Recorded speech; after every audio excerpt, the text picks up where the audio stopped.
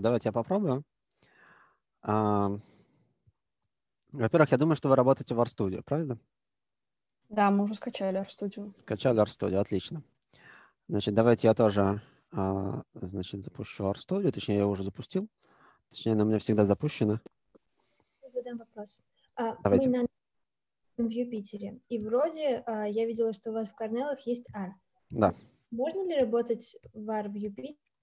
Это удобно, и почему мы так не делаем? Я, э, честно говоря, я как-то а, по привычке работаю в Юпитере с питоном, а в R э, в RStudio. А, Можно работать в R. ну, Собственно говоря, Юпитер изначально создавался, а, Юпитер расшифровывается как Julia Python R. Изначально он создавался именно как такой кросс-языковый проект. А, И, в принципе, работать в R в нем можно, но как-то, мне кажется, люди обычно работают именно а, в RStudio. А, Когда-то давно поставить аровский кернел в Юпитер было сложно, сейчас, кажется, это упростилось, но я с тех пор особенно с этим делом не заморачивался. Я обычно использую RStudio.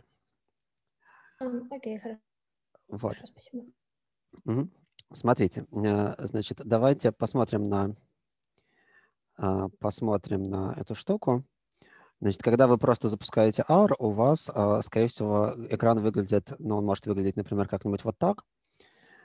А, И здесь у вас есть консоль, в которой вы можете набирать команды, и R их автоматически выполняет. Но если вы хотите написать что-то более сложное, то вам нужно создать какой-нибудь файл, и можно создавать файлы разных типов. Можно просто создать R-скрипт. Это просто какой-то файл, в котором вы можете писать, а, писать какой-то код и дальше выполнять этот код в консоли. А, Ну, давайте я что-нибудь сейчас сделаю. А, Значит, я могу сейчас это выполнить. Вот я сейчас нажал. Интересно, что я сейчас нажал? Я нажал Shift-Command-Enter у меня под маком. У вас, может быть, и под Windows может быть использоваться какая-то другая комбинация клавиш. Ну вот просто нажатие на кнопку Run запускает текущую строчку из этого скрипта. А вот это что за кнопка такая? Не знаю. А, Короче говоря, можно запускать весь скрипт целиком, или можно выделить, например, весь скрипт и нажать а, Run, и он тогда запустит тоже все строчки. Ну, он видно, что он их просто переносит вот сюда в консоль и запускает по очереди.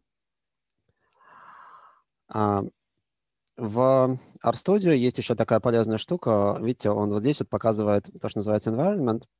Это он показывает здесь значения всех переменных, которые у вас сейчас определены. Вот видно, что у меня а, в данный момент в текущей сессии определен x, y. Ну, у меня здесь много чего еще определено, просто потому что я не, RStudio никогда не закрываю, и здесь у меня перемешаны результаты работы над разными проектами. Вот. М, Ну, в общем, эм, как-то так это все устроено. А, Но а, мне больше всего после, э, после а, Юпитера больше всего нравится работать в режиме R-Notebook. Значит, это вот такой документик создается, он очень похож на юпитеровские эти самые тетрадки, но есть некоторые различия, в частности, это, если смотреть просто на этот документ как таковой, это просто текстовый файл, грубо говоря. А, Здесь для того, чтобы писать какие-то просто комментарии, используется э, разметка Markdown, она же поддерживается в Юпитере. Ничего серьезного про нее знать не нужно, кроме того, что э, здесь можно писать текст со всякими выделениями. Например, вот такая штука выделяет а, текст м, курсивом. А вот так можно создавать ссылки. А, вот так можно создавать заголовки. Вот. Но самое главное, что вы можете вставлять сюда вот такие вот, они называются chunks, и это кусочки кода, которые прям а, тут же можно и выполнять. Значит, ну вот давайте я тоже сделаю что-нибудь. Допустим, вот такую штуку. И опять же можно выполнить этот чанк, можно нажать вот на эту кнопочку, можно нажать Ctrl. У меня это Command-Shift-Enter, а у вас может быть Ctrl-Shift-Enter или Alt-Shift-Enter. И этот чанк выполняется, и тут же а, выводится ответ. Вот. В целом мне эта модель э, нравится. Мне нравится тем, что это честный текстовый файл, получается, в результате, не какой-то там хитрый э, JSON. Вот. Но есть какие-то свои недостатки.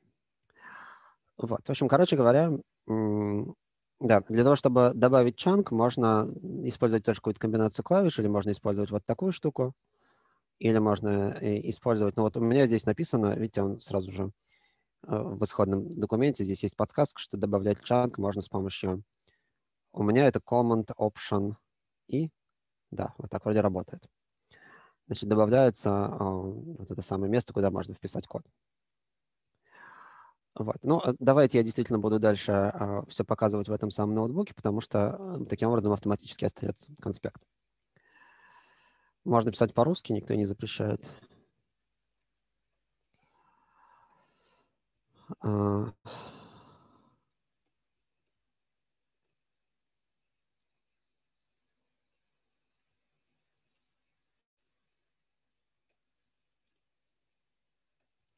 Вот. А как работает ли у вас э, все это дело? Значит, иногда, точнее даже, по-моему, всегда при создании нового R-ноутбука он начинает просить установить какие-нибудь пакеты. А тут с ним нужно не спорить, а согласиться, а, потому что иначе не заработает R-ноутбук. Значит, с установкой пакетов бывает по-разному. Наверное, примерно в 10% случаях, а, если вы работаете под Windows, то у вас пакет откажется устанавливаться, потому что чего-то там не то с правами на запись какой-нибудь там каталог. А, значит, я это умею решать, но я не умею выдавать инструкции, как это решать, э, потому что это всегда какое-то приключение. Нужно что-то там поправить в реестре, чего-то там, где-то там, создать какой-нибудь каталог. Короче говоря, если у вас возникает проблема с установкой пакетов в R, а, просто скажите мне об этом, и мы с вами вместе повозимся с этим. Вот. Ну, если сейчас вдруг не удается запустить э, вот эту самую штуку, то вы можете сделать просто сделать новый R-скрипт и работать здесь в R-скрипте. Будет примерно то же самое, только не так красиво. Окей? Okay?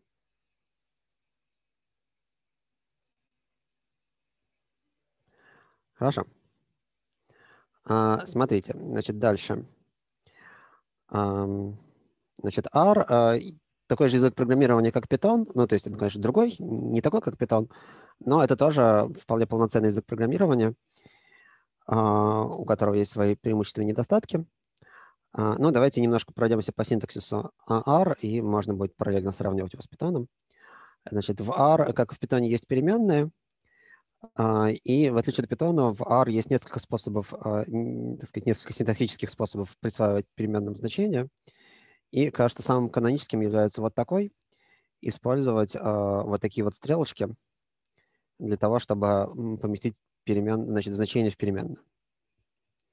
А, ну, вот дальше можно проверить, что действительно... А, как видите, я вот здесь присвоил переменным значения, а тут я могу их использовать. А, можно, в принципе, использовать просто знак равенства, но как-то var считается, что, по крайней мере, в тех, в тех руководствах по стилю, которые я видел, считается, что это неправильно. Так, а что он не работает?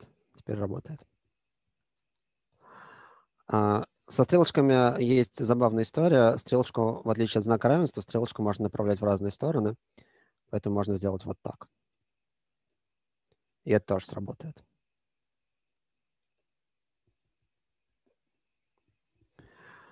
Вот, иногда так бывает полезно, когда вы делаете какое-то длинное выражение, потом говорите, а теперь запиши это выражение в переменную.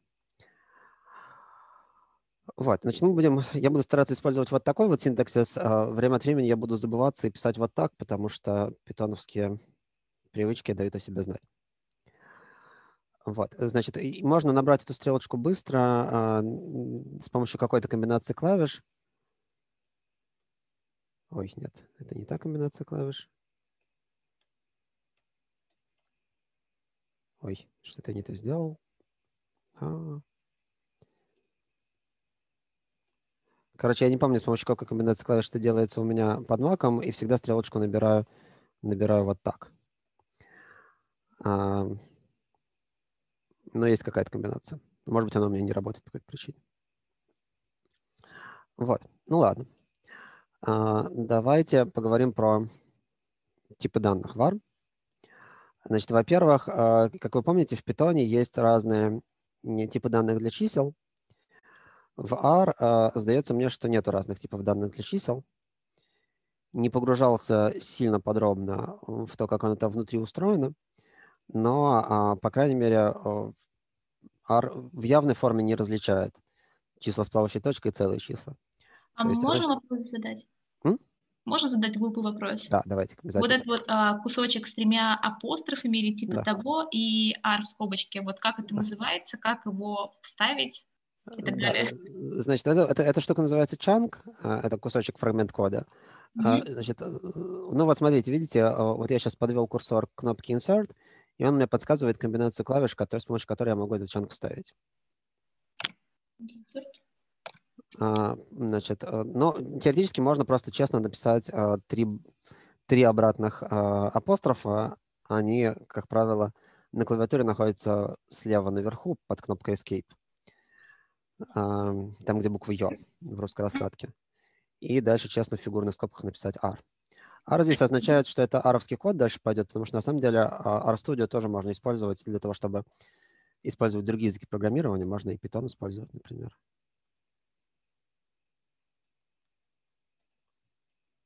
А, а я могу комбинировать чанки питона и ARM? Ну, если я честно, Прям вот совсем, э, значит, ну, э, прям совсем комбинировать, комбинировать, кажется, нет, в том смысле, что а, все-таки питоновские объекты и аровские объекты, видите, это разные штуки. А, но, в принципе, вы можете в одном документе использовать код и, того, и, и тот, и другой, но просто нужно как-то по-хитрому обращаться. То есть если вы хотите, если вы хотите использовать одни и те же переменные, к ним как-то нужно по-хитрому обращаться. Я, честно говоря, сейчас не помню как, но давайте я посмотрю. А, значит, есть ли какой-то простой способ это делать? Uh, access Python code from R.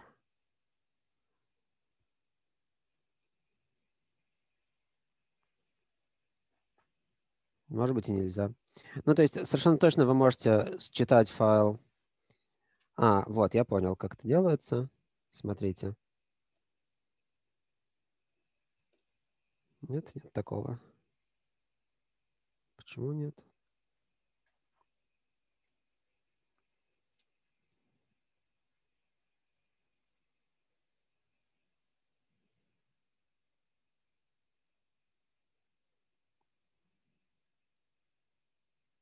Наверное, нужно было библиотечку подключить.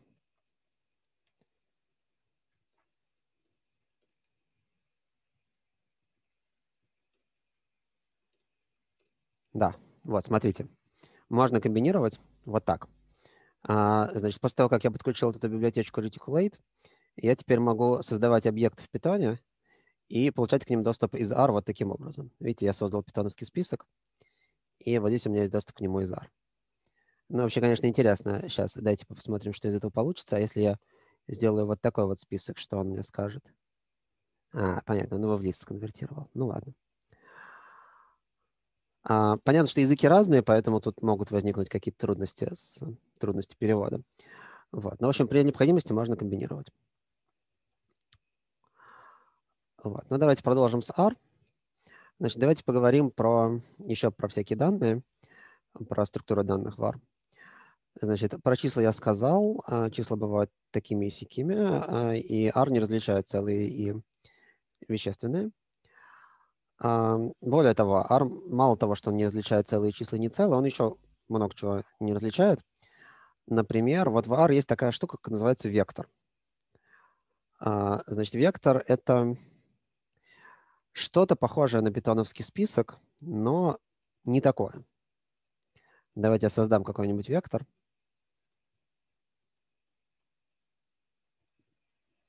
Даже два вектора. Значит, вот эта буквка С означает, э, что э, значит, она возникает от слова concatenate, сконкатинировать, и она используется в том числе для того, чтобы создать э, новый вектор. Значит, вот то, что мы сейчас сделали, называется вектором. В x и в y лежат, соответственно, векторы, и можно обращаться к их элементам. Значит, это делается похоже на то, как это делается в питоне, но с важным отличием а, в R а, нумерация элементов происходит с нуля. Не с нуля, а с единицы. В питоне с нуля, в питоне x от двойки был бы вот этим числом 30. А в R нумерация с единицы. Вот. Но, в принципе, питон, значит, аровские векторы в какой-то мере похожи на питоновские списки.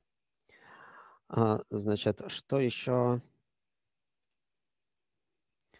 полезно знать? А, значит, полезно знать то, что в отличие от питоновских списков, аровские векторы а, однородны. То есть если у вас есть разные типы данных в векторе, то R автоматически пытается их сконвертировать к такому типу, к которому можно сконвертировать все элементы. Вот в данном случае у меня, видите, было число, число, строка, и он мне э, автоматически сконвертировал все в строки, ну, потому что превратить в число в строку можно, а вот такую строку в число нельзя. Вот.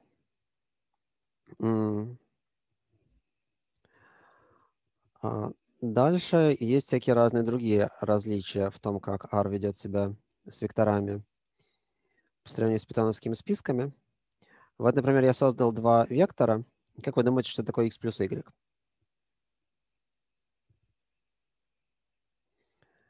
Значит, в питоне это была бы конкатенация, но в R для конкатенации используется буква C, а все операции с векторами происходят поэлементно.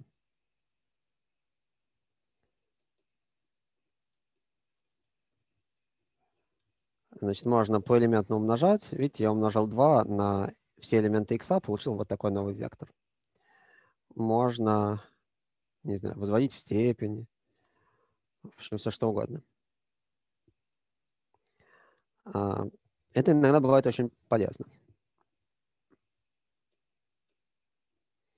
А, вообще а, R очень забавен в том, что он не различает, вот смотрите, вот я вроде как создал а, у меня сейчас в x лежит просто одно число, но на самом деле это то же самое, что вектор, который состоит из этого единственного числа. Видите? А, R на самом деле не отличает а, как бы одинок стоящий элемент от вектора, единственным элементом которого является вот эта самая штука. То есть число 10 и вектор, состоящий из числа 10, это одно и то же. А, тут, возможно, у вас когда-то был вопрос, что означает вот это вот число 1. А теперь я могу на него ответить. Давайте сгенерируем какой-нибудь длинный вектор. Давайте, например, возьмем последовательные числа. От 10 до 1000. И теперь можно догадаться, что означают вот эти числа.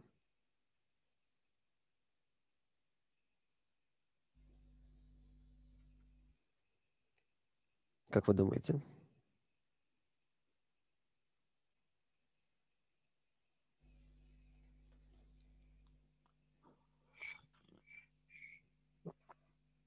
Что за числа в квадратных скобках такие?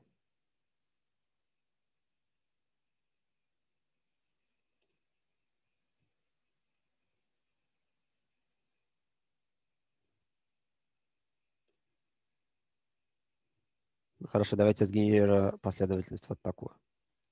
Теперь должно быть совсем понятно.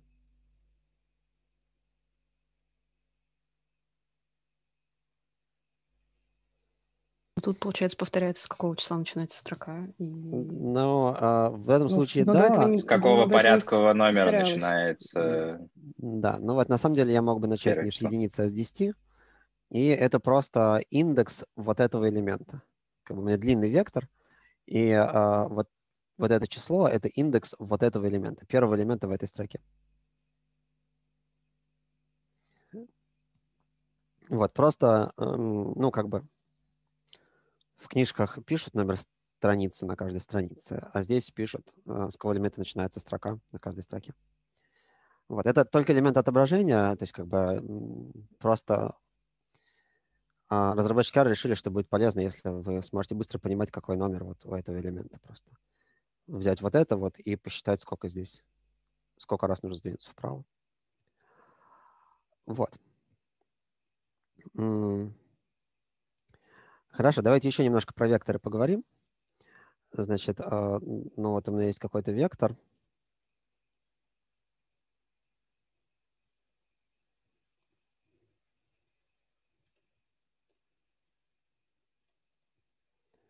И есть разные способы выбирать данные из этого вектора. Ну, значит, первый способ мы уже знаем, вот такой. Можно просто выбрать элемент с данным индексом. А, дальше, если я хочу несколько элементов, это можно сделать вот так. Это похоже на питоновский синтаксис со срезами. А, сразу видно различия. Смотрите. Значит, в отличие от питона, здесь мало того, что нумерация с единицы, так еще и последний элемент включается. А, значит, вот я сказал, что я хочу элементы с индексами 2, 3, 4, 5. 2, 3, 4, 5. Вот пятый элемент с индексом 5 тоже включен. Вот у нас 154. Значит, работает это не совсем так, как в питоне. В питоне срезы — это некоторая отдельная конструкция языка. А здесь это частный случай вот такой штуки. Смотрите. Во-первых, если я просто напишу 2 двоеточие 5, то я получу вектор, который состоит из целых чисел. А, теперь, если я индексирую вектор с помощью другого вектора, а, то я таким образом говорю, что мне нужно выбрать элементы из вектора x с вот такими индексами.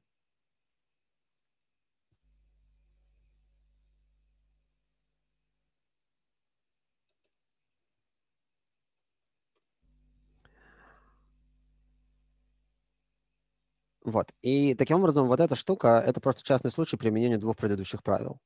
Значит, вот эта штука создает вектор 2, 3, 4, 5, а вот эта штука, а, значит, квадратные скобки после этого, в которые подставили этот вектор, просто выбирает элементы с этими индексами.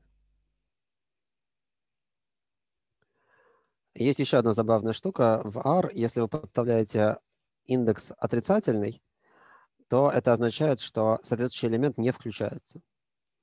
Например, вот так я могу выкинуть из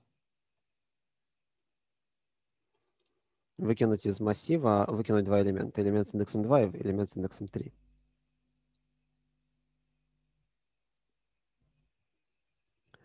Вот.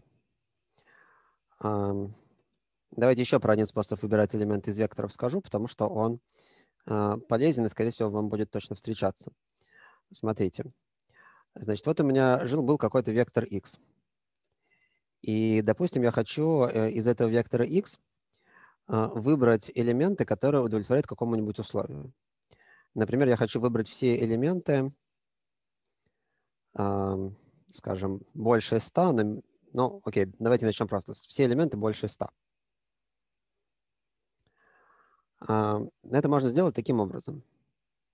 Давайте я даже сделаю чуть-чуть другой вектор x, чтобы не возникало ложных предположений. Пусть у меня здесь есть еще какой-нибудь элемент. Так вот.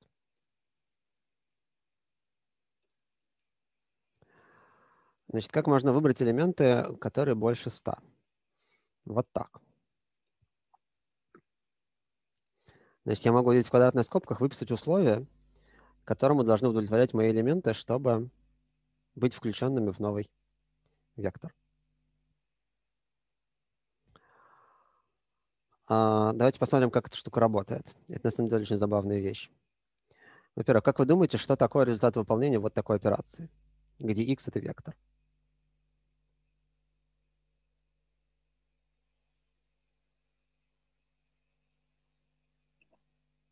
Покажет те, которые больше 100. Нет. Ну, судя по всему, должны дать индексы тех, которые больше 100. А, ну, да, могло бы быть так, но не совсем.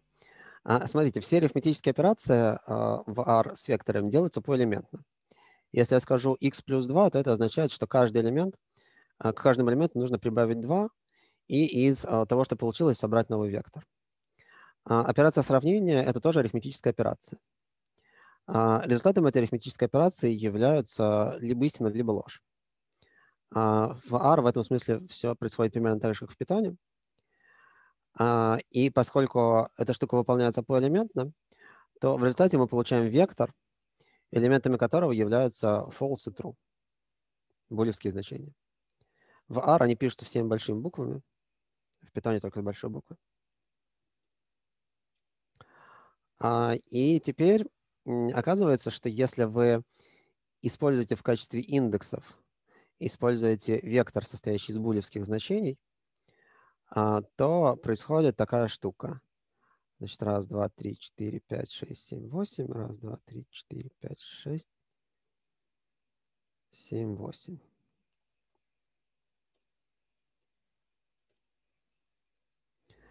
А, вот смотрите, у меня был x вот такой.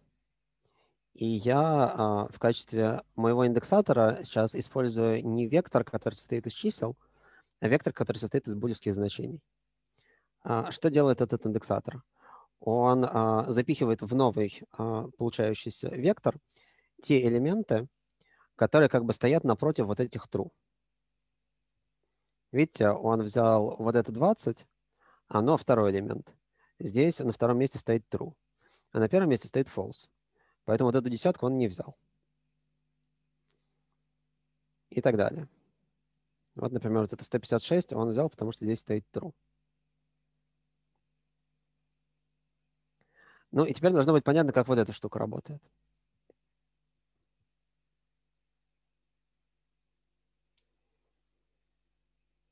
Как? Понятно?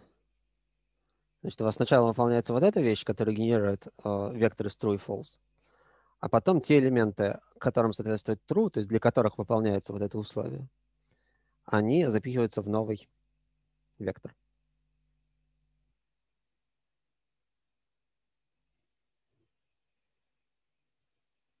Окей?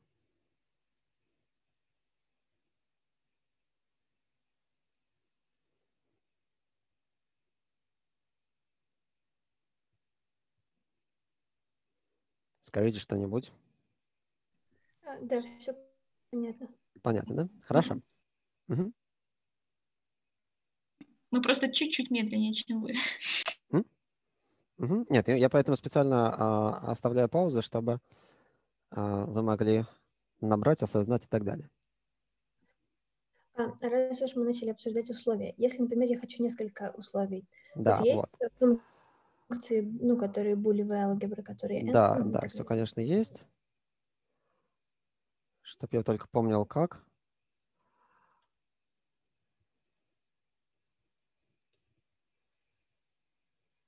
Ну, вроде бы вот так работает. Кажется, так не работает. И так не работает. Да, видимо, видимо вот так вот. Э, Значит, амперсант – это «и», а палочка – это «или». А отрицание... Интересно, как делается отрицание? Я думаю, восклицательным знаком оно делается.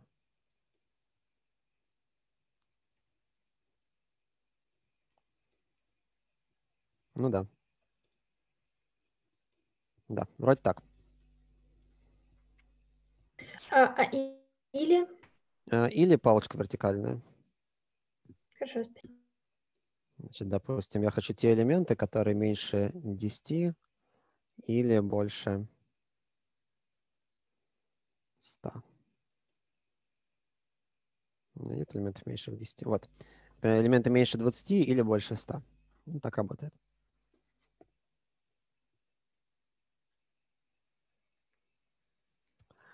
Вот. Э, На самом деле, э, пафос всех вот этих вот операций вот такого типа состоит в том, что мы хотим по возможности избегать циклов.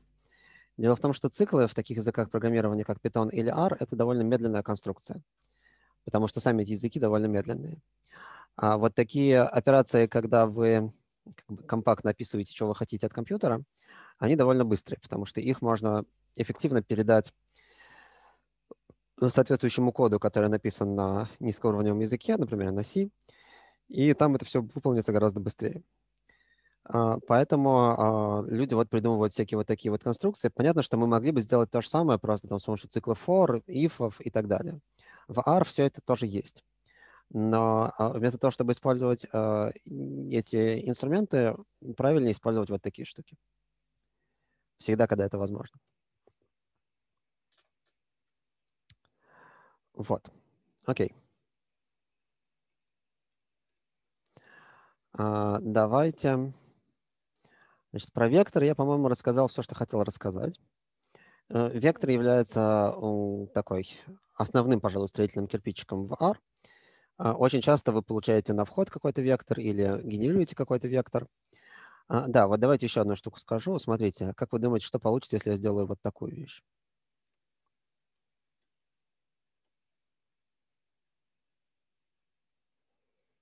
Что такое а, вот такая штука? Наверное, то же самое, что сложить списки в питоне. А вот нет.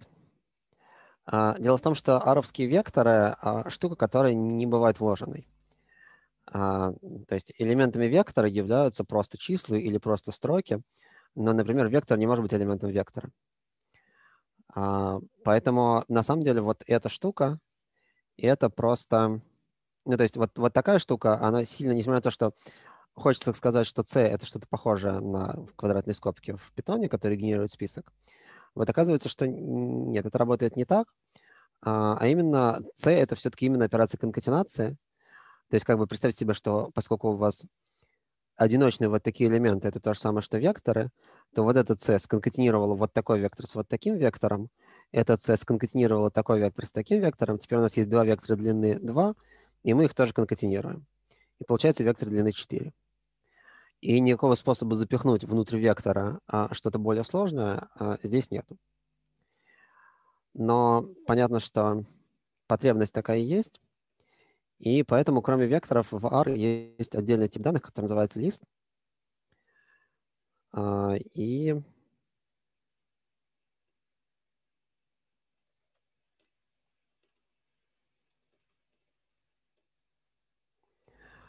лист — это такая коллекция элементов, которые никак не связаны друг с другом.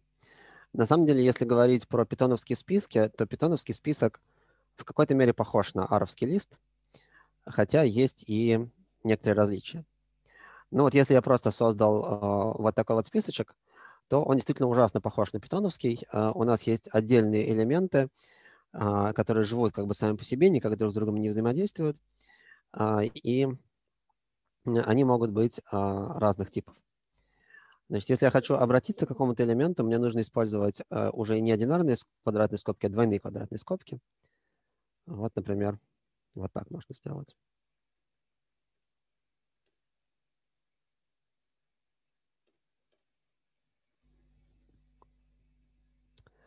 Вот. А, значит, я, наверное, сейчас не буду сильно подробно углубляться в эти самые листы. Скажу только, что э, листы могут быть как устроены как угодно сложно. В частности, элементами листов могут быть другие листы. Э, например, можно сделать что-нибудь такое странненькое. Да?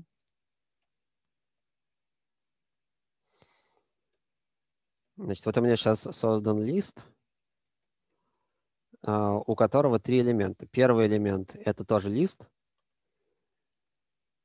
который состоит из двух элементов. Видите? Второй элемент в моем листе – это вектор.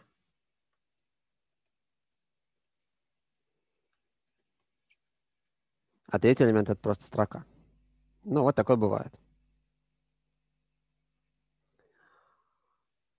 Вот.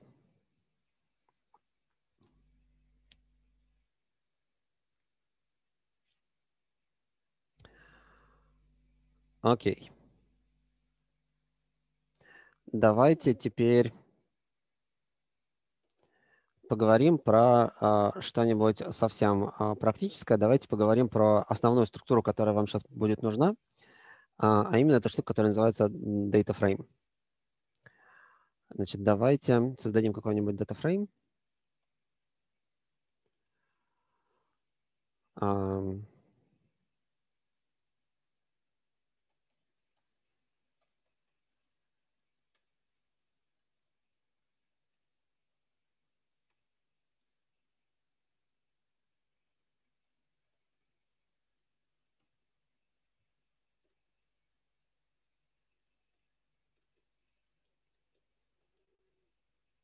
Значит, в R а, точка не является специальным э, символом в идентификаторах, она используется, часто используется вместо нижнего подчеркивания для того, чтобы просто разделить а, разные слова. А, так что пусть вас не, эта точка не смущает. А, тут нет никакой связи с питоном. Значит, она устроена, а, она просто выполняет функцию нижнего подчеркивания. Значит, вот смотрите. А, получили мы такой, такую табличку. Значит, а, здесь написано, что вот когда я ее создавал, я а, создал табличку с тремя столбцами. Значит, столбец x, столбец y и столбец q. Значит, разные столбцы могут иметь разный смысл, могут быть разными типами данных. Ну, в частности, у меня здесь x и y – это столбцы, как следует вот здесь вот из просто вещественных чисел. Здесь написано DBL – это, это сокращение от слова double, числа двойной точности. А столбец Q, видите, он у меня создался, он имеет специальный тип э, фактор. Сейчас мы про фактор еще поговорим немножко. Значит, но, в общем, э, датафрейм – это просто табличка. А, ну, окей, табличка обладающая такими свойствами, что у нее столбцы обязательно однородны по типу. Ну, как бы вообще в этой науке как бы есть такое разделение. У нас строчка это считается каким-то наблюдением, каким-то объектом, который мы, по которому у нас есть данные, допустим, человек или страна или еще что-нибудь. А столбцы это какие-то переменные, какие-то характеристики этого объекта. А, ну, соответственно, понятно, что если столбец это переменная, то у него должен быть фиксированный тип. Но давайте посмотрим, что можно делать с этим датафреймом. Значит, можно обращаться а, к его столбцам. Делается это с помощью такого синтаксиса. Значит, нужно написать а, доллар, а потом написать название столбца. А, на самом деле это распространенный способ обращаться к элементам в R. В частности, к элементам списков тоже так можно обращаться, если они имеют имена. А, ну вот, а, давайте посмотрим, как это происходит в при работе с датафреймами. Значит, результатом вот такого обращения к столбцу а, оказывается вектор. Значит, каждый столбец – это вектор.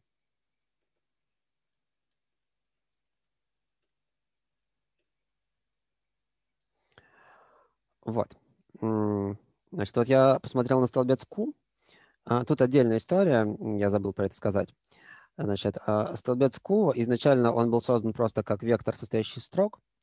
Но на самом деле в R есть отдельный тип данных, который называется factor, который нужен для того, чтобы создавать так называемые категориальные переменные. А, ну, вот как в этой науке, а, ну, в смысле в науке, связанной с данными, разделяют данные разных типов. Вот бывают данные, которые просто числовые, скажем, возраст или рост или еще что-нибудь в этом роде. А бывают данные, которые называются категориальными, ну, например, вы записываете, там, из какого города человек или там, из какого вуза. И категориальные данные, ну, с ними всегда есть какие-то трудности, потому что математика работает с числами, а что делать с вашими городами или вузами, не очень понятно.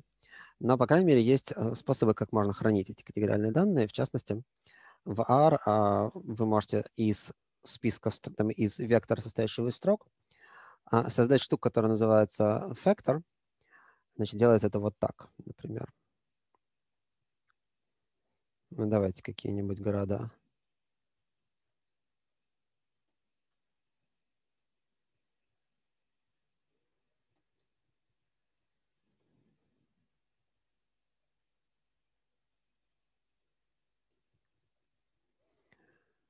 Вообще э, конвертирование значит, типов данных из одних в другие э, делается в R с помощью вот таких функций, которые начинаются с S. То есть как бы мы говорим, что нам нужно воспринимать вот этот вектор как такой-то тип данных. Вот в данном случае он воспринимается как э, значит, фактор. Что это означает? В частности, это означает, что он автоматически выделяет, какие значения здесь в принципе есть. Эти значения называются уровнями, levels. Ну вот видно, что вот в том а, факторе, который я создал, три уровня. Москва, Нью-Йорк, Санкт-Петербург. А, вот. Ну и, и дальше с этими факторами можно что-то делать. Только тут нужно быть осторожным, потому что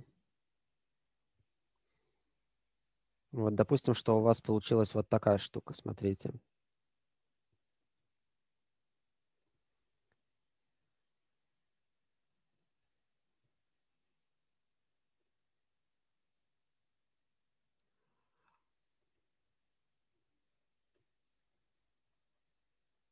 Вот если у меня есть, э, если у меня есть вектор, который состоит из чисел, и я хочу эти числа превратить... Нет, давайте не так. Давайте наоборот. Вектор, который состоит из вот таких вот строчек, в эти строчки записаны числа. Значит, если я хочу превратить этот вектор в вектор, который состоит из настоящих чисел, мне достаточно сказать вот такую штуку, as numeric v. И получается частный вектор 10, 20, 30. А теперь а, давайте представим себе, что у меня был а, вектор, который выглядит очень похожим образом, но только он является фактором.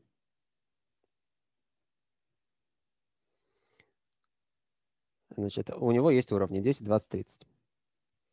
Давайте я теперь а, к... Давайте даже я а, здесь тоже поставлю кавычки. Вот так сделаю. А можно вопрос задать? Давайте. Угу. А почему-то, когда в таблице выводили столбик Q, у меня и у Нади не получилось levels, он тоже вывел в кавычках три слова, а вот когда с э, новой переменной с factor levels получилось. Почему так? А у меня это, так может, же. это может зависеть от, от того, какие... Эм, хороший вопрос. Не знаю, это может зависеть либо от версии R, либо от каких-нибудь библиотек, либо не знаю от чего. У меня он почему-то его автоматически сконвертировал в фактор. А, нужно смотреть в каждой ситуации отдельно. Он, особенно при загрузке из файлов, есть функции, которые нужны для того, чтобы загружать данные из файлов, допустим, из CSV-шек. И о, похожие функции, которые это делают, могут ведь делать действовать по-разному. Почему при создании вот так вот э, отсюда он это тоже воспринимает по-разному, я не знаю. А, вот. Ну вот смотрите, значит, вот у меня есть... А давайте я даже еще что-нибудь сделаю. Вот так.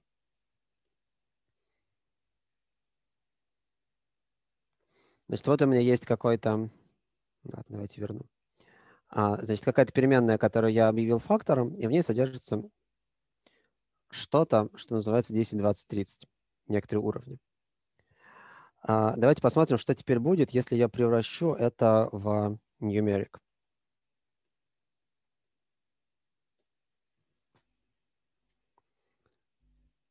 Ну, давайте, чтобы у вас не возникало ощущение, что он просто делит на 10, давайте я сделаю вот так.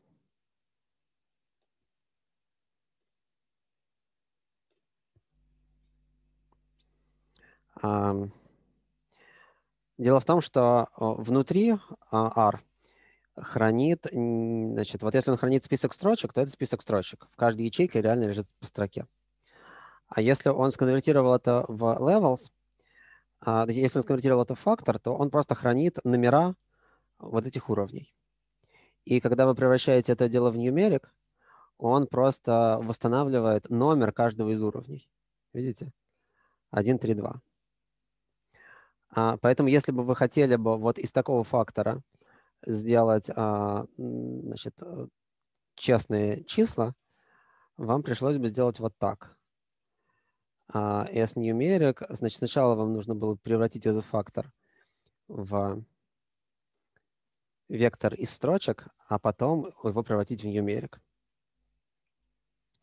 Но это просто такое тонкое место, на котором я время от времени а, ловлю себя.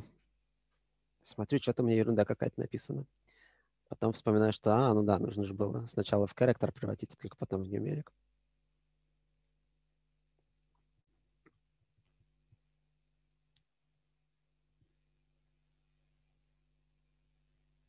Вот. Давайте мы вернемся к data frame ам. Давайте что-нибудь сделаем с этим data frame ом. Но не, не с этим, давайте какой-нибудь настоящий data frame загрузим. Чего-нибудь с ним сделаем. Какой бы data frame вам найти? Сейчас какой-нибудь вам найду data frame.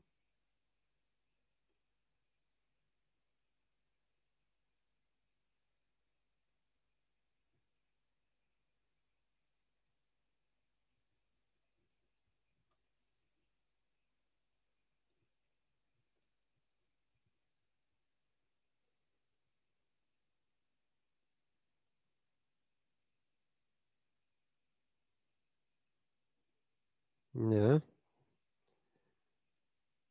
Ну, давайте. Это, видимо, у вас, видимо, какие-то а, акции Apple. Табличка с акциями Apple. Давайте на нее посмотрим.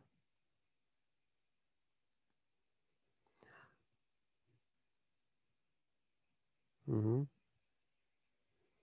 Да, ну ладно, сойдет. Давайте, давайте возьмем вашу табличку с акциями Apple.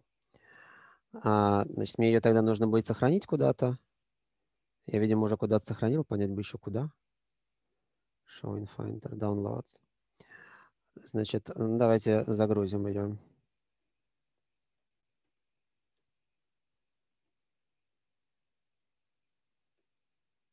Значит, смотрите, вы можете сделать одно из двух. Либо вам нужно указать а, полный путь к тому файлу, с которым вы работаете, а, с указанием там каталога, там номера, там, имени диска и так далее. И тут, кстати, может возникнуть проблема, если вы работаете под Windows, нужно иметь в виду, что, скорее всего, вам нужно будет обратные слыши в путях писать как двойные обратные слыши. Либо вы можете просто поместить этот файл в тот каталог, в котором вы сейчас работаете. Проверить, где вы сейчас работаете, можно, чтобы я помнил как, get cvd, по-моему.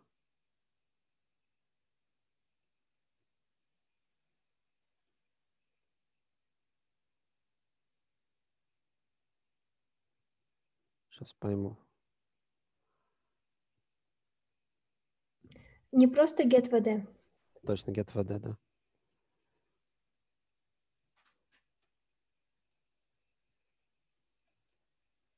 Э, Да. А, вот. Значит, можете положить этот файл, эту CSV-шку а, вот в этот каталог, и дальше можно тогда ее открывать просто вот, вот так вот.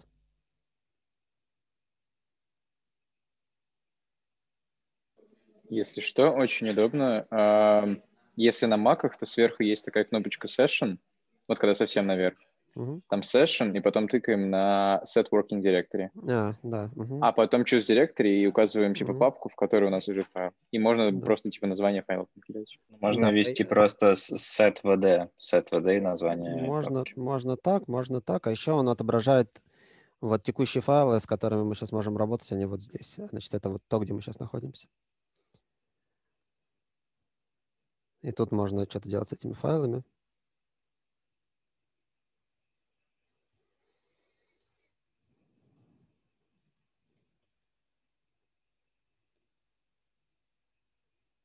Интересно, а тут он не перешел. Ну ладно.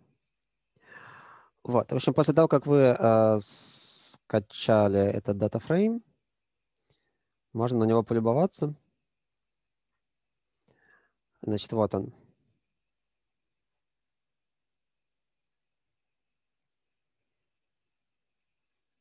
Значит, смотрите, что у меня сейчас произошло. Он а, открыл эту табличку. Значит, э, эта табличка в формате comma separated values. Это просто, на самом деле, если мы а, откроем этот файл, его можно открыть просто глазками на него посмотреть. А, и, значит, это просто текстовый файл, в котором лежат, а, ну вот он так вот устроен, просто запятыми разделены отдельные поля, и поэтому он называется CSV, comma separated, comma separated values. Ну, на самом деле существует примерно бесконечное количество разных диалектов CSV, потому что можно разделять запятыми, можно точками с запятой, можно а, добавлять кавычки, можно не добавлять кавычки, в общем, там куча всякого есть. Вот. Но это такой довольно простой способ сохранить табличные данные, и он очень популярен. Вот, соответственно, мы его сейчас а, открыли, и вот мы видим тут эту табличку. А, ну и давайте посмотрим, чего здесь есть. Значит, во-первых, он нам, он нам открыл дату в виде, а, а, значит, тоже столбца, который состоит из факторов. И это, скорее всего, не то, что мы хотим, потому что, скорее всего, мы хотим, чтобы у нас не было бы фактора с 5294 уровнями. Скорее всего, мы хотим, чтобы эта дата а, была бы в каком-то более понятном виде, так, чтобы R мог бы воспринимать ее как дату. Значит, я, честно говоря, даже не помню, как это делается в R.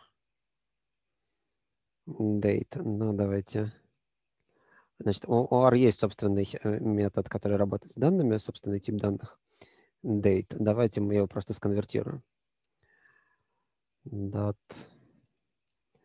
date as date dot date. Значит, вот так можно обращаться к столбцам не только на чтение, но и на запись.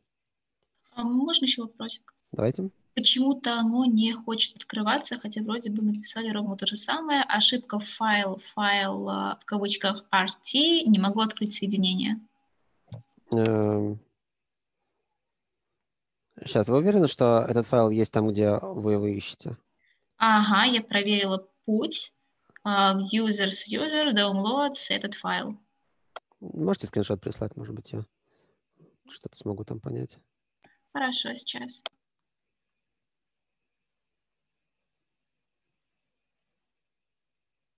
Можно быстро еще раз? Вот вы написали date, date и sdate. Что это означает?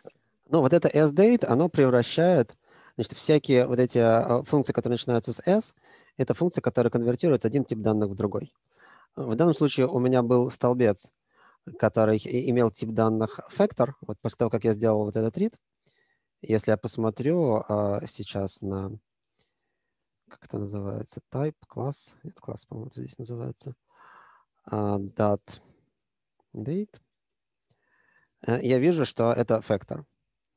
И это означает, что R воспринимает этот столбец просто как набор никак не связанных друг с другом значений различных. Вот. А, соответственно, я бы хотел, бы, чтобы R все-таки понимал, бы, что в этом столбце лежат какие-то даты, и а, для этого я делаю вот это, вот это конвертирование. То есть то, что мне пишет character, это просто типа какой-то другой тип данных? Это другой тип данных. Character — это, а, это строки. А, а можно сразу угу. спросить, да? как выяснить, а какие именно столбцы не читаются? А что значит не ну, читаются? То есть, ну, видимо, читаются только цифры. Ну, когда у нас был фактор, у нас uh все было некрасиво, когда мы все перевели в что-то другое, в даты или в цифры, все стало красиво. А получается, что нам нужно все факторы и строки исправить. Ну, можно, видимо, пройтись по каждому столбцу, но это будет долго. А есть какой-нибудь способ вызвать сразу, эм, вызвать сразу расширение всех столбцов? Ну, просто, чтобы сразу посмотреть, какие нужно перевести в дат. А, да, я думаю, что есть, но, а, значит, если вы хотите посмотреть... Сейчас, значит, чего мы хотим? Вы хотите, на самом деле, понять, как устроены... Вы хотите выбрать все столбцы, которые, которые соответствуют, которые имеют заданный тип, да? Что-то в таком стиле. Ну да, которые, точнее, не имеют два данных uh-huh. типа на самом деле. А, сейчас, значит, я не помню точно, как это делается. Давайте я попробую быстро посмотреть. А, значит, допустим, select columns of given class R.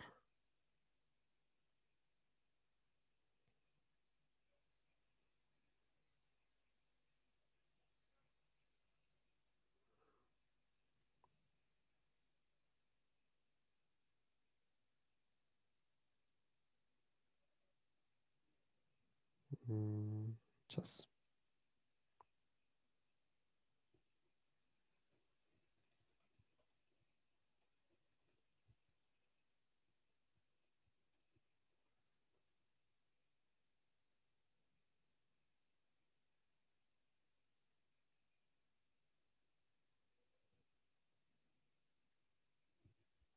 Mm-hmm.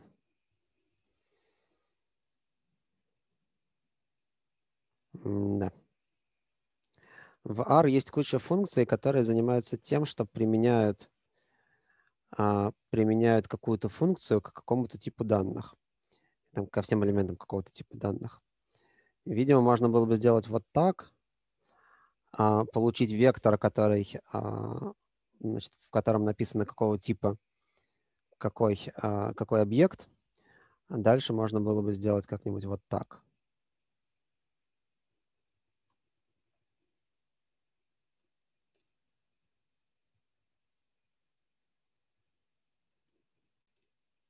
Ну да, вот смотрите, вот так можно, а, вот так можно выбрать, например, все, все столбцы, которые имеют класс uh, numeric.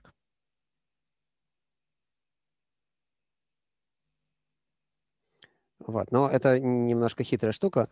Может быть, проще это было бы делать с помощью других инструментов.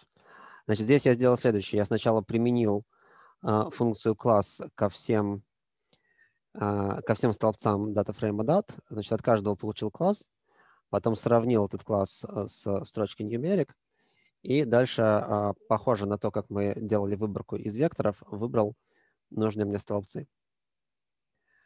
Вот. Но, честно говоря, мне кажется, что, как правило, э, это делается как-то проще. Хорошо, спасибо. Угу мне кажется, проще это в какой-то момент вручную сделать.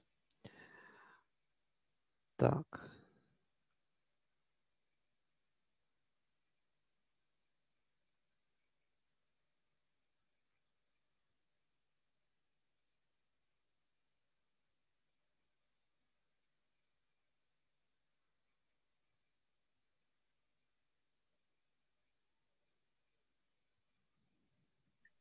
Можете, пожалуйста, повторить, что вы еще раз делали вот с supply? А, значит, ну, э, это некоторая магия. А, значит, во-первых, что делает sapply? Он применяет а, вот эту функцию к каждому элементу вот этой штуки. В данном случае под элементами подразумеваются столбцы. То есть я таким образом получил вектор, который состоит из которая состоит из названий, а, как бы из, из, типов, из типов этих столбцов. А, значит, это на самом деле даже получился не просто вектор, а именованный вектор. Видите, здесь у каждой штуки есть имя. Вот. А потом я использовал синтаксис, похожий на то, что, а, на то, что было выше, когда мы из вектора выбирали какие-то элементы, которые удовлетворяют данным требованиям и выбрал среди всех столбцов э, те столбцы, которые являются numeric.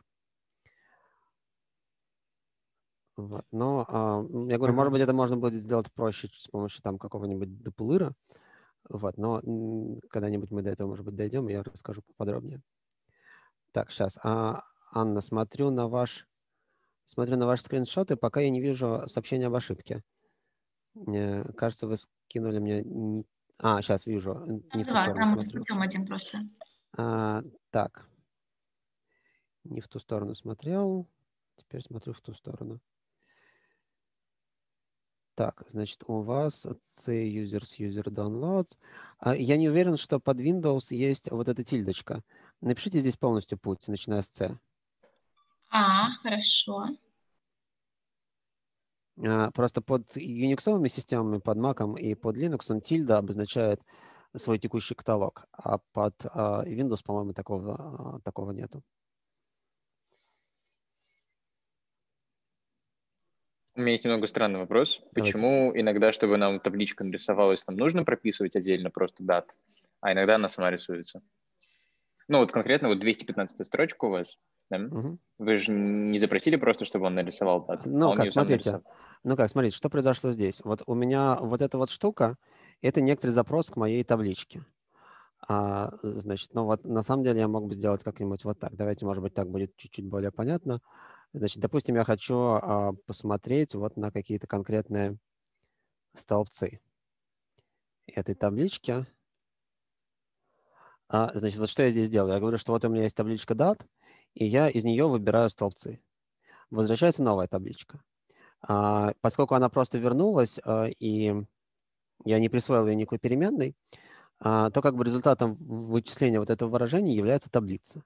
Эта таблица автоматически отображается точно так же, как отображаются результаты арифметических операций.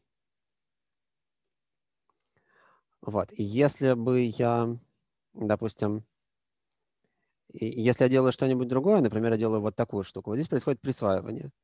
Я а, присваиваю что-то чему-то, и результат вот этого выражения, как бы вот всего это, всей этой строчки, а он как бы не имеет никакого, не имеет никакого значения. Поэтому он ничего не отображает. А, вот здесь вот я как бы прошу отобразить а, более-менее в явной форме эту табличку. Но опять же, результатом выпол выполнения вот этого выражения является табличка, и поэтому он, ее, поэтому он ее отображает. Окей, спасибо. Угу. Юпитер ведет себя, кстати, ровно таким же образом. А, заметим, что когда я сделал вот такую вещь, или вот такую, или вот такую, с самой табличкой дат ничего не произошло. Я создал новую табличку, которая обладает, которая имеет вот только нужные мне столбцы. Вот. Хорошо, ну давайте посмотрим, чего еще можно делать с этой табличкой. Значит, пока что мы сконвертировали один столбец.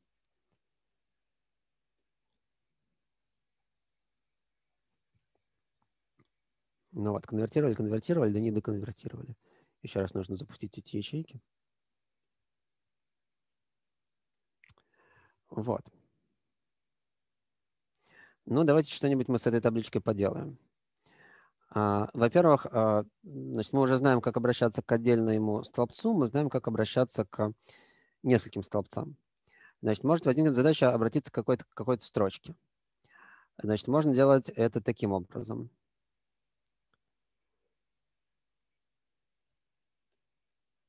Значит, вот так можно получить первую строчку. Или вторую строчку. Обратите внимание на запятую. Если этой запятой нет, то он считает, что это вы обращаетесь, соответственно, к первому или второму столбцу. А если запятая есть, он понимает, что вот эта штука – это на самом деле индекс, который идет, ну, как бы вот у вас есть, ну, как матрица вы записываете, да, у вас есть А, и Т, житый элемент. И Т – это номер строчки, житый – это номер столбца. И здесь то же самое. А, запятая показывает, что вот эта штука – это именно номер строки.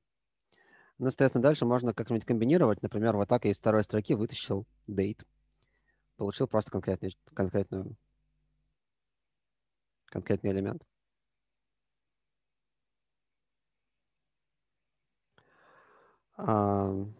Или, допустим, open.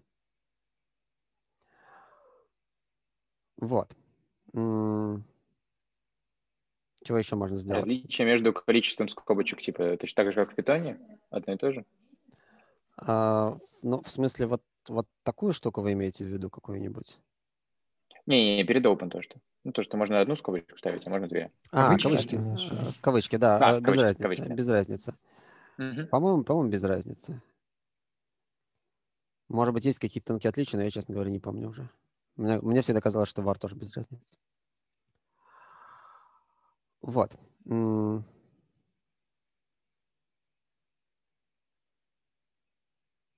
Хорошо.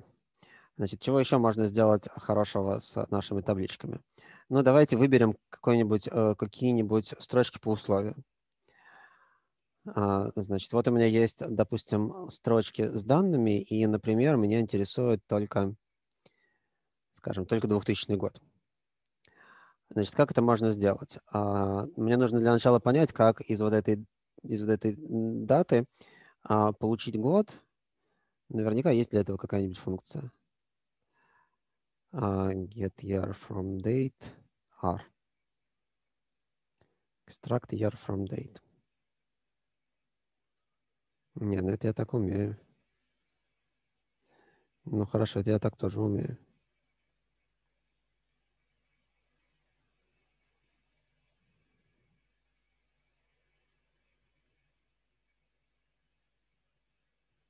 Ну хорошо, допустим, мы сделаем такую штуку. Смотрите. А, значит, данные, а, значит, даты можно по-разному форматировать. И давайте я просто скажу так. Значит, вот у меня есть... Значит, я хочу сформатировать э, эту дату. А, ну, вы знаете, что дат, даты можно записывать в разных, в разных видах. Вот, например, можно так, а можно как-нибудь можно наоборот, допустим, день, месяц, год. А, соответственно, и когда у вас есть дата, про которую компьютер понимает, что действительно дата, а, у вас, как правило, и есть какой-то способ, как эту дату записывать в разных видах. Ну вот, в частности, можно просто попросить его вытащить год из нашего, из нашей даты. И теперь, например, я хочу выделить те строчки, в которых этот год 2000. Вот в этом месте я всегда ошибаюсь. А, знаете почему? Точнее, не, не почему я ошибаюсь, а в чем состоит ошибка.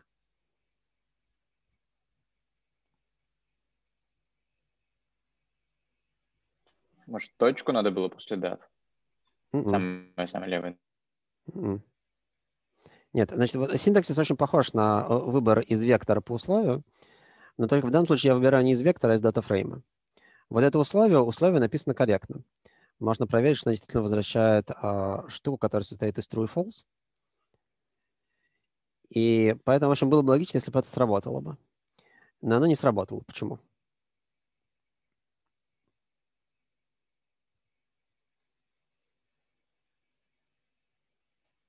Потому что я забыл запятую. Элемент не строка? Да. А. Я забыл запятую, и которая бы показывала, что вот это условие нужно применять именно к строчкам, что я хочу выбрать не столбцы, которые удовлетворяют этому условию, а строчки, которые удовлетворяют этому условию. Ну вот, пожалуйста, выбрали. Значит, теперь у нас есть строчки, которые удовлетворяют условия, что они относятся к 2000 году. Ну, давайте что-нибудь сделаем. А, давайте, например, что такого сделать веселенького. Давайте посмотрим, как... Секундочку, можно? Да, давайте. Y что такое? Вот что такое а, вот, вот этот Y, это просто штука, которая показывает, что в этом месте должен стоять год. Это... Вот в этих форматах, которые, с помощью которых можно, можно форматировать дату, и есть некоторые специальные обозначения, которые показывают, что вот в этом месте должен стоять, например, месяц. Ну вот я могу его, я могу сделать что-то очень странное, например, сделать вот такой формат даты, в которой месяц будет продублирован три раза. Смысла в этом никакого нет, э, но, но вот видите, как оно делает? Значит, просто вот эта штука говорит, что в этом месте нужно поставить год, вот эта штука говорит, что в этом месте нужно поставить месяц, а эта штука говорит, что в этом месте нужно поставить день. А остальные переменные, а остальные, так сказать, а, просто обычные строчки интерпретируются как обычные строчки. Окей, okay, спасибо. Вот. Давайте что-нибудь сделаем веселенькое. Ну, давайте, например, вот что посмотрим. Давайте посмотрим, как... Эм, что такого сделать? Как следующий... Э, значит, посмотрим на разность. Э, значит, как следующий зависел от предыдущего. Ну, не зависел, а как... Насколько сильно различие было у следующего по сравнению с предыдущим днем. Значит, как бы это так сделать? А, ну это просто сделать. Возможно, что для этого есть какой-то стандартный метод, но можно сделать вот так, смотрите. Значит, допустим, я хочу просто выбрать... Ну, давайте я возьму какой-нибудь конкретный столбец, скажем, open. Давайте я пока что уберу этот, а, эту фильтрацию. Давайте я буду работать с целиковым датафреймом. А, возьму, например, open и сделаю с ним такую штуку. Значит, если я хочу посмотреть на разность между текущим днем и следующим днем, как это сделать?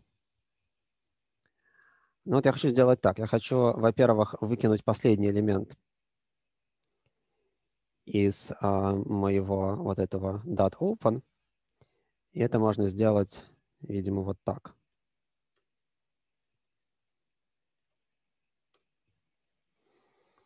А теперь я хочу вычесть, допустим, из следующего предыдущий. То есть я хочу теперь выкинуть первый элемент и сделать вот так. Вот получились у меня разности. Ну давайте мы эту штуку куда-нибудь запишем. Допустим, OpenDiv.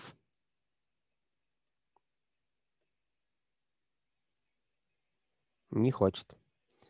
Потому что он говорит, что размер того, куда мы его хотим, размер того, что мы хотим записать, слишком короткий. У нас получилось на один элемент меньше. Ну и ладно, давайте мы допишем сюда NA, например, в конец. Значит, NA – это специальное обозначение для отсутствующего значения, not available.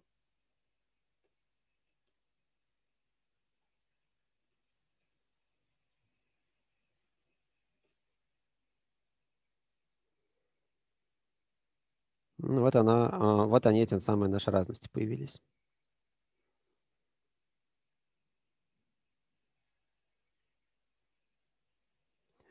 Вот. Чего еще хотите сделать с этой табличкой?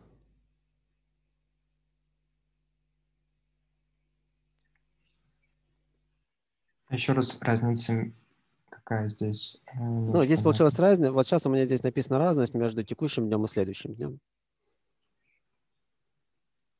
Ну, вот давайте посмотрим. Э, значит, если я... Значит, что у меня был? Open и OpenDiv. Значит, вот было 0,936, потом увеличилось, прибавилось 0,03, получилось 0,966. Потом убавилось на 0,04, а получилось 0,926 и так далее.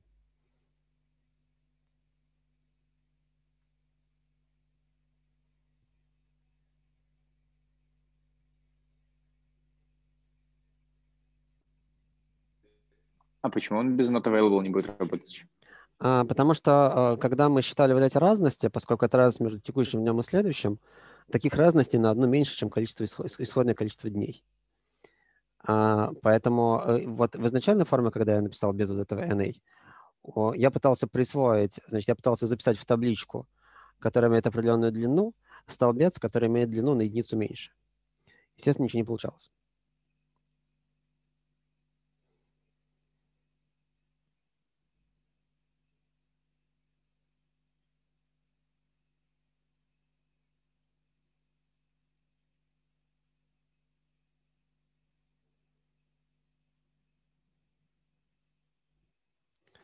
Вот. Ну, что можно сделать? Ну, давайте, давайте какие-нибудь какие штуки посчитаем. Допустим, вот я хочу взять и посчитать среднее. Допустим, среднюю цену открытия. Ну, это просто считается вот так. Ой. Вот вам среднее. Допустим, стандартное отклонение. Знаете, что такое стандартное отклонение?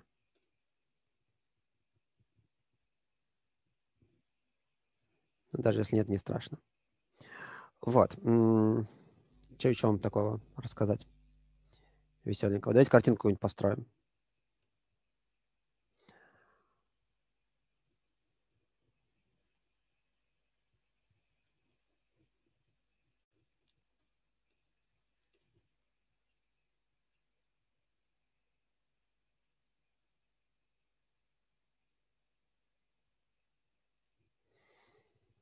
Значит, ну вот таким вот образом она строит картинку, а, просто рисуя маленький кружочек в каждой точке. Значит, первый аргумент – это как бы иксовые координаты, а второй аргумент – это y координаты. А, но вот если мы хотим не, а, не точечки, чтобы она рисовала, чтобы она рисовала кривую, ну, нужно... А. Сейчас, а как интересно с помощью плот это сделать? Можно ли с помощью, с помощью плот?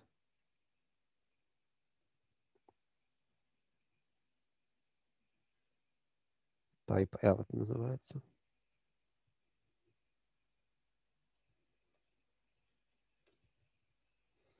Ну вот, пожалуйста, криволина. Она уже сама подписывает оси, не самым симпатичным образом, но подписывает. Это так называемый базовый способ э, рисовать картинки э, из, из базового R. Э, есть библиотечка ggplot, с помощью которой это можно делать посимпатичнее, но это, может, как-нибудь попозже обсудим. Извините, пожалуйста, а угу. можно вопрос? Давайте. Смотрите, я ставлю тоже такой вот плод, дальше все как вас, но он мне пишет ошибку, что в плод нужны конечные значения. А в плод что нужно? Он пишет, что нужны конечные значения. А... Можете показать скриншот? Да, конечно, сейчас пришлю.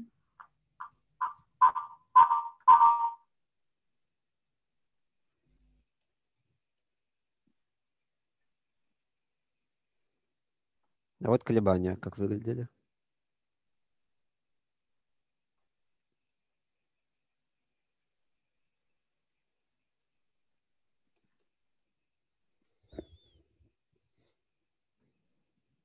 Угу.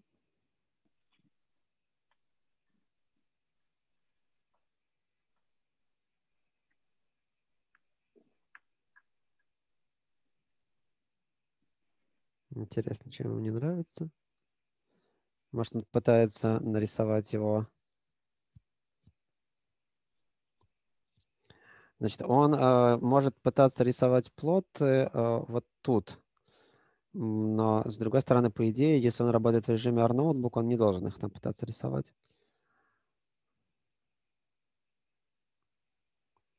Plot date. Сейчас data date, data open.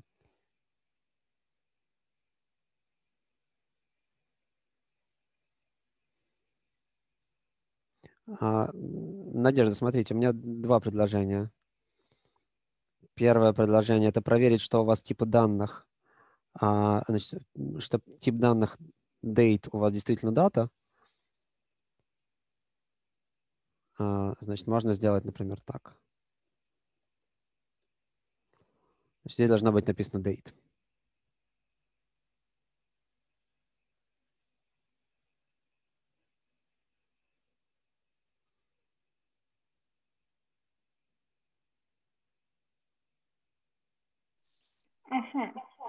Нет, там character. Character. Ага, тогда нужно вернуться, вернуться туда, где мы это меняли, и это пофиксить. Вот, вот эту строчку нужно выполнить. Ну, или другой вариант, можно не, не там эту строчку выполнять, а наоборот вот здесь сделать. Вот так.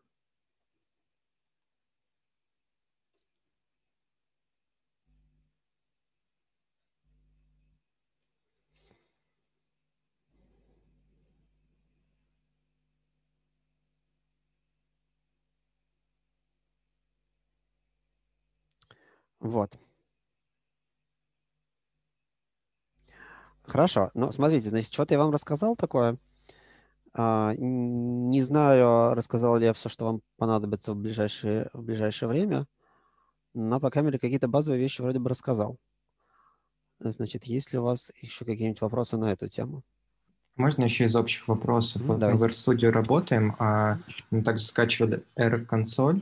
Это mm-hmm. что такое, для чего это? Нет, смотрите, по идее вы должны были э, поставить две штуки. Э, RStudio и сам по себе R. А, R э, — это, собственно говоря, язык программирования, а RStudio — это просто к нему интерфейс, он к нему просто обращается. R-консоль — это способ запускать R, ну, это такой очень... Сейчас. Не совсем понимаю, как, какой именно, про какую именно консоль идет речь. В принципе, в RStudio есть вот здесь вот консолька есть, в которой на самом деле все и запускается. Э, если есть еще какая-то программа под названием R-консоль, я, честно говоря, не знаю. В принципе, в самом R входит какой-то какой очень простой GUI, графический интерфейс, а, который, по-моему, так называется R-GUI. Вот. Но нам, нас в любом случае сейчас будет интересовать только RStudio. Я так думаю. А, скажите, пожалуйста, вот, например, я написал программу, все супер, хочу ее скачать. А, какое расширение у R? Куда ну, вы, можете, вы можете просто сохранить. А, значит, вот если вы делаете это в виде R-ноутбука, то э, вы просто сохраняете как а, файл с решением RMD. Ну, вот, допустим, intro R да. RMD, и дальше он будет знать, что это формат именно этот R Markdown. R а, со встроенным Markdown. Окей, а но умеет сохранять в какие-то более читаемые форматы? Ну, вот, например, я напишу там какую-нибудь домашку, решу ее сдать, и понятно, что... Смотрите, да. Это Значит, вот из этого RMD это как бы исходник, и из него можно сделать э, файл разных форматов. Uh, ну, например, самое простое – это сделать вот такую штуку. Значит, knit.html. И когда вы на эту штуку нажимаете, он выполняет все строчки сверху вниз. Yeah. Uh, и uh, на выходе генерирует, если все хорошо, uh, на выходе генерирует HTML. -ку. Вот она здесь появляется в препросмотре. И дальше ее можно сохранить. Вот она, видите? А дальше ее можно тоже сохранить. Там, там, там. Как ее сохранить? Ну, на самом деле она уже сохранилась а, туда, где вы работаете. То есть вот туда, где у вас было этот самый working directory ваш, а, он туда уже его сохранил. Там есть эта HTML. -ка. А, если немножко повозиться, то можно... Значит, с этим всегда были какие-то проблемы, если вы используете кириллицу, но, в принципе, можно попробовать получить PDF-ку, а, которая делается с помощью теха. Но для этого у вас должен быть установлен тех. А, ну вот, сейчас посмотрим. Ну да, конечно, конечно не работает. Конечно Unicode, конечно в 2021 году он не работает, потому что, потому что нет, бывают не только латинские символы, бывают другие символы. Где-то, наверное, можно настроить... Сейчас, ну-ка, интересно, могу я сделать так, чтобы он бы мне бы PDF-ку нормально генерировал бы? А, да, я вспомнил, как это делается. Нужно... Ну, для этого...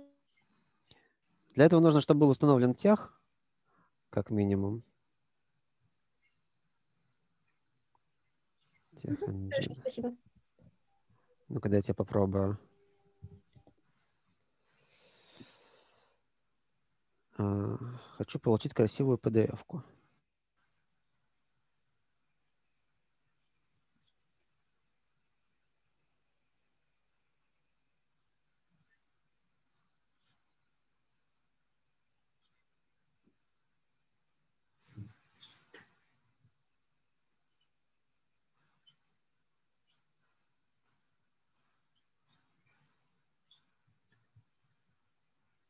Сейчас посмотрим.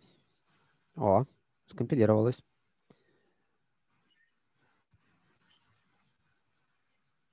Кажется, даже что-то здесь отображается.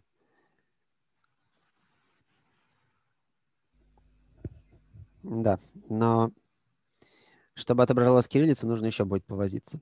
Короче, можно, можно заставить э, выдать нормальную PDF-ку, но нужно немножко повозиться с чем-то. Вот. А что вы сделали, чтобы PDF uh, он делал? Ну, значит, я сделал, э, я вот эту вот штуку добавил. Output PDF document LaTeX engine LaTeX. Uh, еще нужно что-то сделать, чтобы он нормально работал бы с кириллицей. Там нужно какие-то шрифты подключить. Короче, какое-то здесь заклинание нужно написать еще. Но не знаю, как это делается сходу. Вот. Хорошо. Смотрите, я могу еще сказать пару слов по поводу таких чисто программистских вещей. Значит, в принципе, с точки зрения базового программирования, R очень похож на любой другой язык программирования такого типа. А, например, есть цикл for, который работает очень похоже на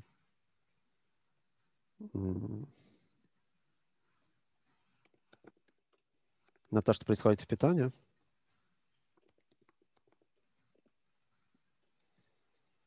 Ой. Только нужно скобок больше ему. Вот, пожалуйста, я перебрал элементы из вектора вот такого, и каждый из них напечатал. Значит, а, тут добавляются вот такие фигурные скобки, которые как раз показывают начало блока, конец блока. А, и а, но все остальное выглядит очень похоже на то, что было в питоне. Аналогично есть какой-нибудь if, который работает тоже примерно так же. Допустим, fx равняется 10, print, окей. Okay.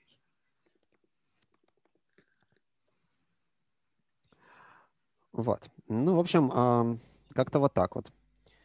Я думаю, что на сегодня можно закончить. А если у вас будут еще вопросы про R, не стесняйтесь обращаться, можно будет еще какую-нибудь консультацию провести. Спасибо большое, хорошо. Угу. Пожалуйста. Угу. До свидания.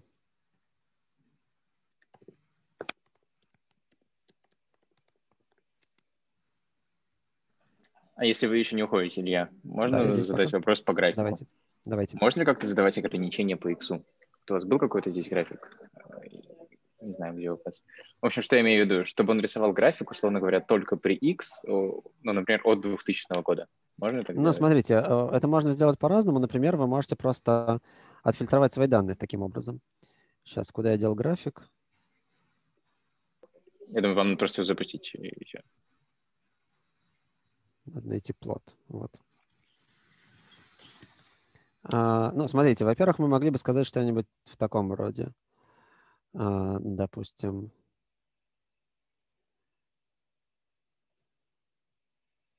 Интересно, кстати, вот так сработает или нет.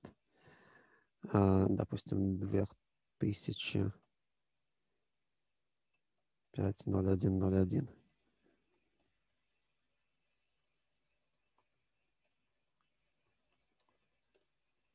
Да, сработал.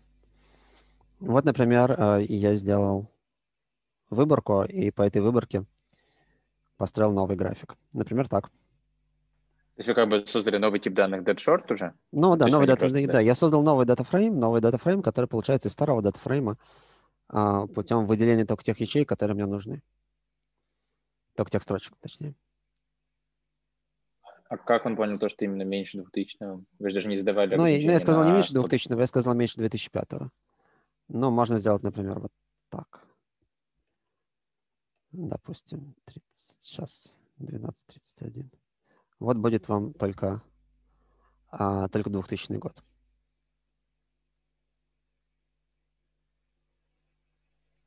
Угу. Ладно, спасибо. Угу.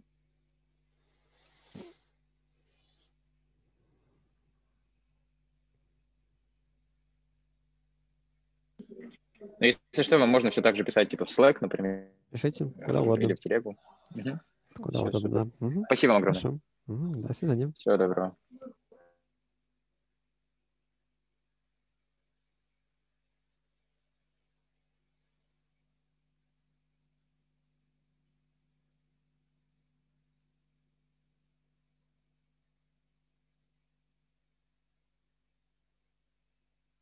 Так, ну что, все, закончились вопросы?